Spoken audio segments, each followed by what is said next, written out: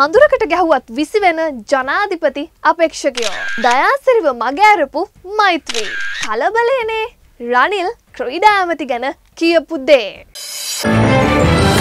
කනින් කොනින් ඇසුණු කතා කනින් කොනින් ඇසුණු කතා. ශ්‍රී ලංකා නිදහස් පක්ෂය පක්ෂ සම්මේලනය සැප්තැම්බර් තුන්වනිද තලවතුකොටද හෝටලේක පැවැත්වෙන නියමිතයි.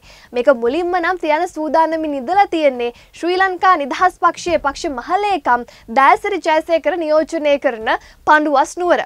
හැබැයි මේ ශ්‍රී ලංකා නිදහස් පක්ෂය නියෝජනය කරන ආණ්ඩුවට සම්බන්ධ වෙලා ඉන්න මන්ත්‍රීවරුන් පිරිසක් ඉන්නවනේ මේ මන්ත්‍රීවරුන් පිරිස ගිල්ල හමු වෙලා තියෙනවා මෛත්‍රී පාලසිරිසේන හිටපු ජනාධිපතිවරයාව ඔවුන් හම්බෙලා නම් කියල තියෙන්නේ පක්ෂ සම්මේලනය අපි අපි ගෞරවාන් විදිහට තියන්න ඕනේ. ඒ වගේම මේ ගෞරවාන් විත විදිහට තියෙනවා වගේම අපි මේක ටිකක් ඉහලින් සමරන්න ඕනේ. හැමෝම එක්රොක් වෙන්න ඕනේ. මේ විදිහට ටිකක් වැඩිපුර මේක මිනිස්සුන්ට දැනෙන්න කරන්න ඕනේ කියලා.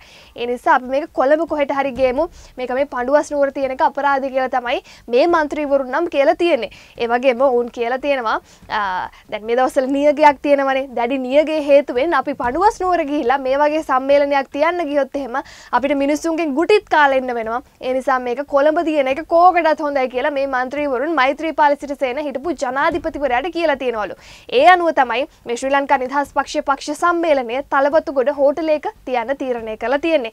කොහොම වුණත් මේ මන්ත්‍රීවරුන් ඇවිල්ලා මේ මෛත්‍රීපාල සිරිසේන හිටපු ජනාධිපතිවරයා හම්බෙලා මේක කොළඹට ගේමු කියලා මේ යෝජනාව කරන සාකච්ඡාවේ දයසිරි ජයසේකර පාර්ලිමේන්තු මන්ත්‍රීවරයා ඉඳලා නැහැ කියලා තමයි අපිට නම් කනින් කොනින් ආරංචි වෙන්නේ.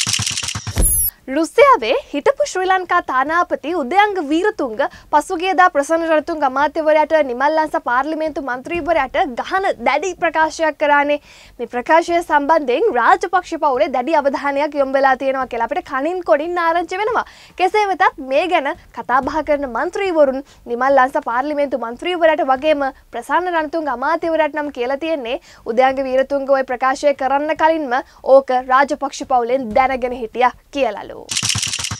පොහොට්ටුව මේ දවස්වල මාර ප්‍රශ්නයකලු ඉන්නේ මාර ප්‍රශ්නයක කියලා කිව්වට දැන් පහුගිය ආණ්ඩුවක අමාත්‍ය දූර දරලා දැන් අමාත්‍ය දූර නැති වෙලා ඉන්න පාර්ලිමේන්තු මන්ත්‍රීවරුන් ඉන්නවනේ. මෙන්න මේ මන්ත්‍රීවරුන්ට තමයි මේ මාර ප්‍රශ්න තියෙන්නේ. මේ මාර ප්‍රශ්න ගැන මේ පාර්ලිමේන්තු මන්ත්‍රීවරුන් ගිහිල්ලා කියලා තියෙනවා මේ පොහොට්ටු ඉන්න ප්‍රබලයින්ට.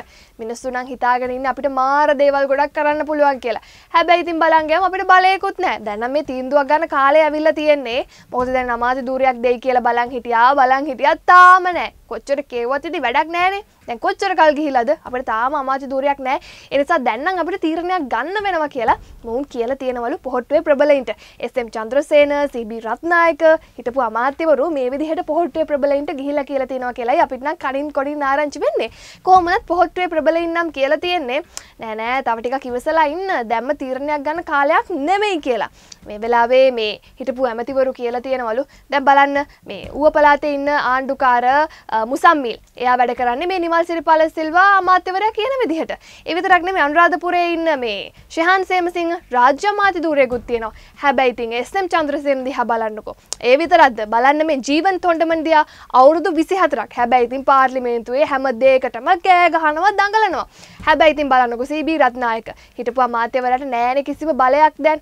ඒ නිසා මේක ගැන අපි පොඩ්ඩක් හිතන්න ඕනි. පොඩ්ඩක් නෙමෙයි ලොකුවටම හිතන්න ඕනේ. හැබැයි දැන් ඒ හිතලා හිතලා හිතලා දැන් මේ මන්ත්‍රීවරුන්ට දැන් තීරණයක් ගන්න කාලය ඇවිල්ලා තියෙනවා කියලා මේ මන්ත්‍රීවරුන්ම ගිහිල්ලා පොහොට්ටුවේ ඉන්න ප්‍රබලයින් එක්ක කතා කරලා තියෙනවා කියලයි අපිට නම් කනින් කොනින් ආරංචි වෙන්නේ.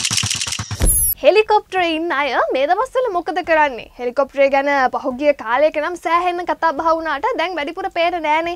ඇතර මොකද කරන්නේ දේශපාලික වශයෙන් කියලා අපි හොයලා බැලුවා. අපිට නම් කනින් කොනින් ආරංචි උනේ මොවුන් උත්තර ලංකා සභාගය ඒ වගේම තමයි සමගි ජනබල වේගය එක්ක දෙවනි වටේ සාකච්ඡාත් ආරම්භ කරලාලු තියෙන්නේ. ඒ විතරක් නෙමෙයි.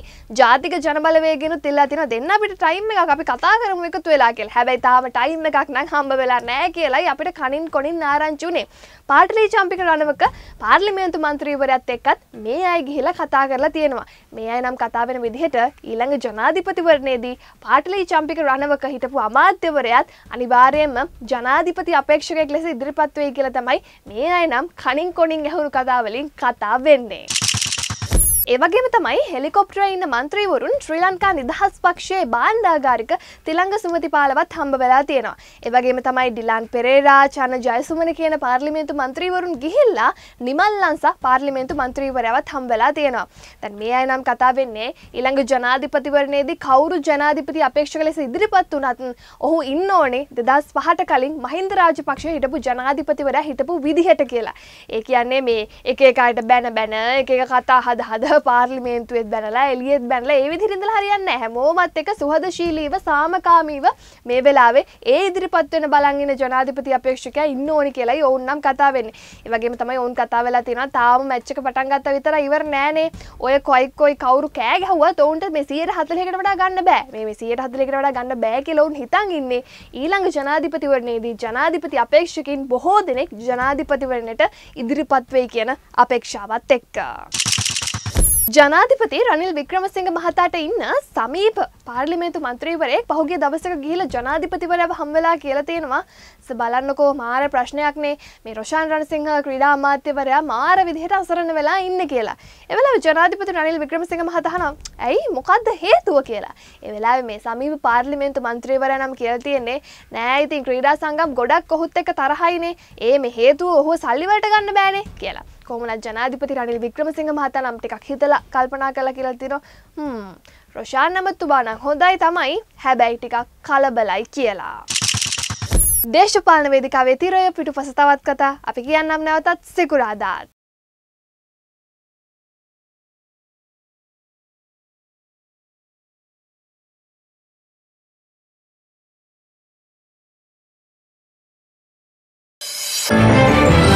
කනින් කොනින් ඇසුණු කතා කනින් කොනින් ඇසුණු කතා.